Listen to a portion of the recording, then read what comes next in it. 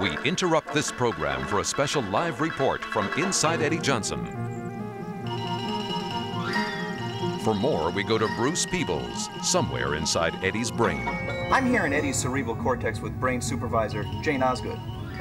We've just gotten word that Eddie has spotted Emily Fleck, a girl from school he has a crush on. Wow. Big news. It is big news. He's been trying to talk to this girl for a year now.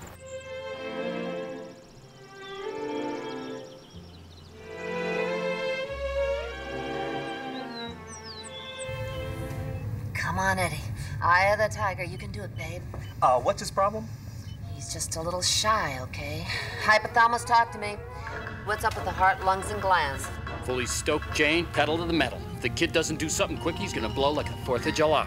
Hold them together for me, Bobby. I'm counting on you. Uh, Jane, what's the situation here? Well, Eddie's body's in the middle of something called the fight or flee response. Fight or flee? Flee response. When you're in a crisis situation of any kind, the hypothalamus here it gets your body ready for action. It tells your heart and lungs to work faster to get more blood and oxygen into your muscles. It also gets your glands pumping adrenaline so you have more energy to Fight your fear and talk to a girl, or flee like a big, scared, jug-eared wuss boy. to flee or not to flee. That is the question. Hey, hey, somebody tell me what's going on up there? We're looking at 90 beats per minute, up from 70 a second ago. What's going on? Eddie see a werewolf or something? Worse, Roy, it's Emily Fleck. Oh no, this kid isn't gonna bolt like a bunny again, is he? Well, that's what we're here to find out.